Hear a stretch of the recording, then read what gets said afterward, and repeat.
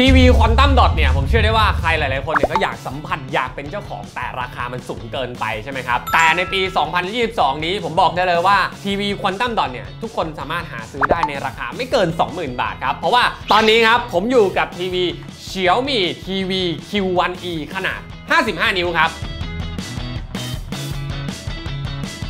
ก็สำหรับวันนี้นะครับผมอยู่กับทีวีจากทางเฉียวหมี่หลายๆคนเนี่ยน่าจะรู้จักแบรนด์นี้เป็นอย่างดีนะครับเฉียวหมี่เนี่ยก็ผลิตสินค้าหลากหลายมากนะครับไม่ว่าจะเป็นโทรศัพท์มือถือทีวี อุปกรณ์ใช้งานภายในบ้านอะไรต่างๆเนี่ยผมก็เป็นสาวกเฉียวหมี่ค่อนข้างเยอะนะครับเครื่องฟอกอากาศอะไรเอ่ยก็เต็มบ้านไปหมดนะครับเนื่องจากว่าแบรนด์เนี้ยเขาจะผลิตของที่เรียกว่าสเปคสูงกว่าราคาขายมาแทบจะทุกชิ้นเลย แล้วก็คุณภาพของที่เขาให้มาเนี่ย เรียกว่าคุณภาพดีมากๆนะครับผมก็สำหรับวันนี้เนี่ยผมอยู่กับทีวีครับเ i ียวมี่หลังจากที่เขาเปิดตัวเนี่ยมาค่อนข้างนานพอสมควรแล้วนะครับทีวีก็ผมเคยไปเห็นที่จีนนะครับหรือที่ไต้หวันเนี่ยเขาก็จะมีขายอยู่ใช่ไหมตอนนี้เ i ียวมี่นำเข้ามาขายในไทยแล้วครับแล้วก็ราคาดีมากอันนี้ผมแอบตกใจเลยว่าเฮ้ยตัวทีวีที่เป็นเทคโนโลยีควอนตัมดอทเนี่ยเอามาขายเนี่ยราคาเพียงแค่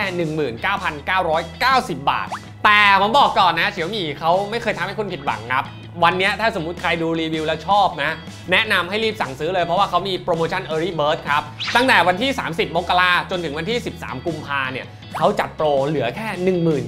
17,990 บาท ก็ถ้าให้พูดกันตรงๆเลยทีวีตามท้องตลาดทั่วไปที่ผมเห็นเนี่ยราคาจะอยู่ประมาณ 1 5 0 0 0 1 6 0 0ในไซส์ 55 นิ้วนะครับ แต่ว่าจะเป็น panel ทีวีแบบปกติทั่วไป แต่ตัวนี้เนี่ยจะได้เทคโนโลยี Quantum Dot ซึ่งทีวี Quantum Dot ที่ผมเห็นในท้องตลาดก็คือ 2 3 4หมื่นกันทั้งนั้นนะครับ ตัวนี้ได้ความละเอียดแบบ 4K ด้วยครับ เรียกได้ว่าให้สีที่สมจริงมากตัว DCI P3 นะตัวนี้อยู่ที่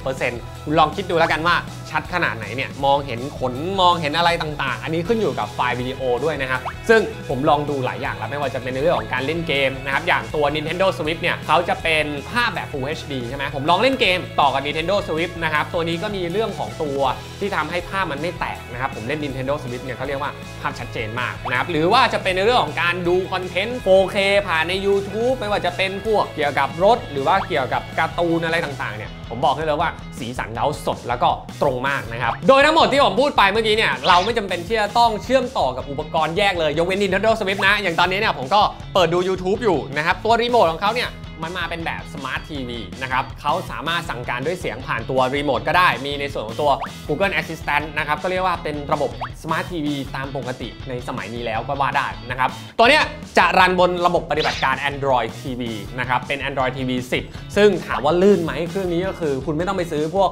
กล่อง Android Box แล้วนะครับ ใช้งานได้ลื่นมากเนี่ยผมกดปุ๊บ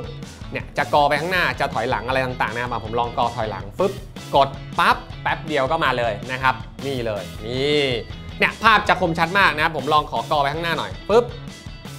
เนี่ยค่อนข้างเร็วนะครับอันนี้ขึ้นอยู่กับการเชื่อมต่ออินเทอร์เน็ตด้วยนะครับซึ่งตอนนี้เนี่ยผมเชื่อมต่อผ่านตัวระบบ Wi-Fi เลยไม่ได้ใช้สายแลนนะไม่ใช้พอร์ตแลนซึ่งเครื่องนี้ก็ยังคงมีพอร์ตแลนมาให้เช่นเดียวกัน นอกเหนือจากสเปคที่ทีวีตัวนี้ให้มานะครับตัว Xiaomi TV Q1e ตัวนี้เนี่ย เขายังมีในเรื่องของดีไซน์ที่เรียกว่าสวยมาก อย่างแรกครับ ตัวขอบเนี่ยเราจะเห็นว่าขอบของมันเนี่ยคือมีเป็นแผ่นเหล็กเล็กๆนะครับแล้วก็ไอตัวที่มันเป็นสีดำเนี่ยเนี่ย มันเป็นเหมือนกับตัว panel ที่เป็นกระจกนะครับก็คือเป็นทีวีเรียกว่าไร้ขอบเลยก็ว่าได้นะครับทุกด้านเลยตัวนี้สามด้านด้านบน แล้วก็ในส่วนด้านล่างตัวนี้นะครับจะมีตัวโลโก้ Xiaomi ติดเอาไว้อยู่นะครับซึ่งถ้าเรามามองด้านซ้ายมือนิดนึงเนี่ยมันจะมีโลโก้ on off นะครับซึ่งตัวนี้เนี่ยเป็นตัวเปิดปิดไมโครโฟนนะครับก็ต้องบอกว่าทางเฉียวมี่เนี่ยเขาเรียกว่าใส่ใจผู้บริโภคแล้วกันเนาะเพราะว่าหลังๆเนี่ยเราจะเห็นว่าอุปกรณ์จีนหลายยี่ห้อหลายรุ่นเนี่ยแอบเก็บข้อมูลแอบดักฟังผู้ใช้งานใช่ไหมครับบางคนรู้สึกว่าไม่ค่อยสบายใจนะครับทางเฉียวมี่เขาก็เลยใส่ตัวสวิตช์ที่สามารถปิดตัวไมโครโฟนเปิดไมโครโฟนได้นะครับ ซึ่งถ้าเราปิดตรงนี้เนี่ยเราก็จะไม่สามารถสั่งใช้งานผ่านตัว Google Assistant ได้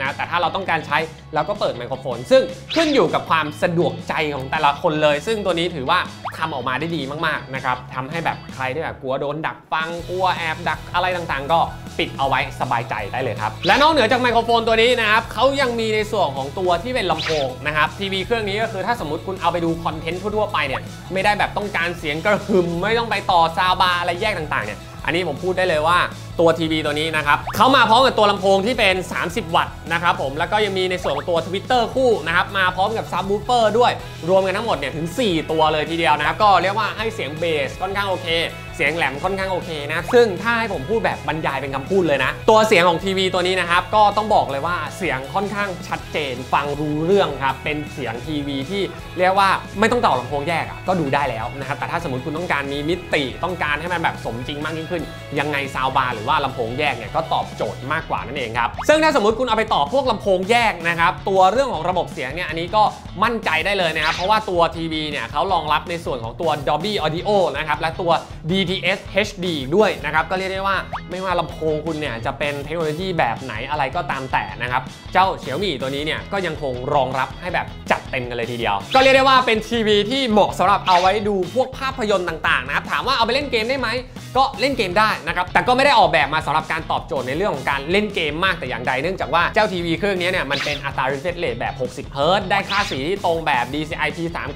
97%นะครับ ตัวนี้ผมก็เลยมองว่ามันเป็นทีวีที่เอาไว้เสพคอนเทนต์ดู Netflix ดู YouTube ดูอะไรต่างๆ ที่แบบได้สีสันสดสมจริงนะครับ เพราะว่าเขามีในเรื่องของตัว HDR 10 plus ด้วยนะครับ ตัวนี้นี่แหละที่มันจะทำให้ตัว Dynamic Range ต่างๆ เนี่ย จัดเต็มมากแล้วก็ดูได้แบบ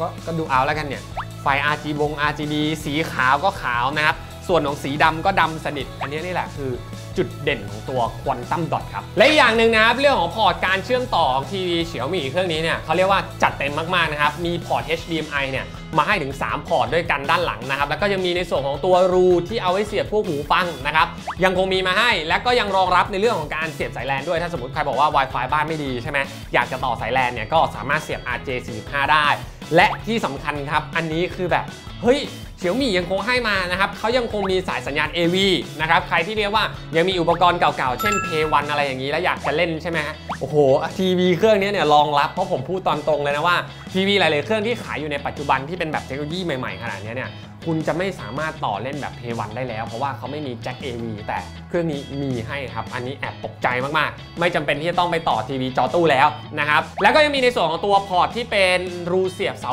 อากาศสัญญาณนะครับ ก็สามารถดูพวกดิจิตอลทีวีอะไรต่างๆเนี่ยดูได้ครบทั้งหมดเลยครับ หรือถ้าสมมุติคุณบอกว่า เฮ้ย แล้วอย่างนี้ถ้าเราไม่มีอินเทอร์เน็ต เราไปโหลดไฟล์หนังมาใส่พวกฮาร์ดดิสก์พกพา แล้วอยากจะเปิดข้อมูลหรืออยากจะเปิดคอนเทนต์อะไรต่างๆเนี่ยทำได้ไหมเครื่องตัวนี้ก็มีพอร์ตตัว USB มาให้ทั้งหมด 2 พอร์ตด้วยกันนะครับ เราสามารถเอาไว้ต่อแบบชาร์จแบตเตอรี่อย่าง Nintendo Switch ก็ได้นะครับ หรือว่าอยากจะเอาไว้เสียบพวกฮาร์ดดิสก์เพื่อเปิดคอนเทนต์ดูหนัง หรือว่าไว้จัดเก็บข้อมูลอะไรต่างๆเนี่ย เครื่องนี้ก็เรียกว่ารองรับทั้งหมดเลย ก็ เทคโนโลยีจัดหนักจัดเต็มมากนะครับ เรื่องของเสียงเนี่ยก็เรียกว่าอัดแน่นมาก เอางี้ดีกว่า เดี๋ยวเราไปลองขึ้นภาพตัวอย่างของทีวีเครื่องนี้ให้ดูว่า เสียงมันจัดเต็มแค่ไหน ภาพมันสดขนาดไหนไปดูกันเลยครับ